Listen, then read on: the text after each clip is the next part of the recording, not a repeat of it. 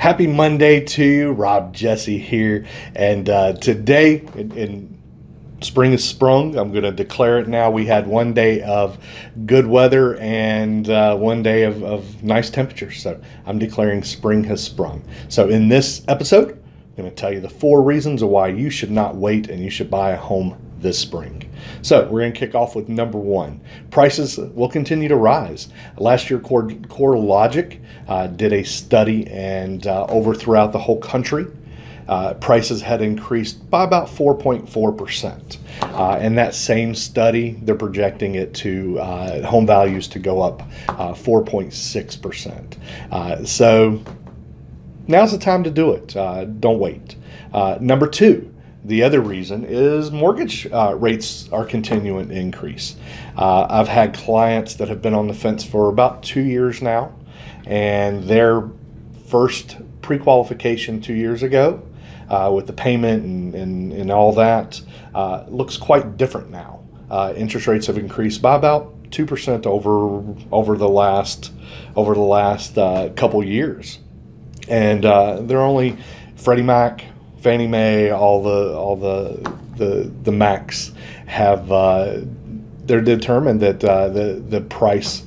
Uh, will continue to rise. The interest rates will continue to rise. Uh, so your monthly payment, if you're thinking about buying a house now and you wait until the end of the year, your monthly payment could be different. Uh, you could also get less of a house uh, if the interest rates increase and plus the, the home values are increasing. Um, number three, either way, you're paying a mortgage. You're either paying your own mortgage and getting to do what you want with the house, or you're paying your landlord's mortgage and making him rich. So either way, you're going to pay a mortgage. Uh, paying your own mortgage is a great way for forced savings. Your house is always going to appreciate. Uh, and so, you paying off that mortgage, uh, you've always got something to fall back on and growing your wealth.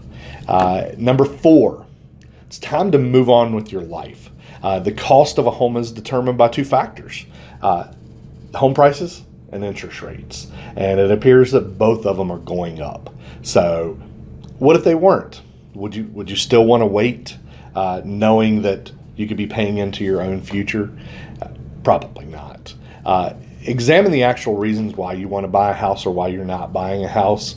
Reach out to me. Let's talk about it. If it's down payment, we have down payment assistance programs. If it's your credit, we have a team that can help you get your credit back on track.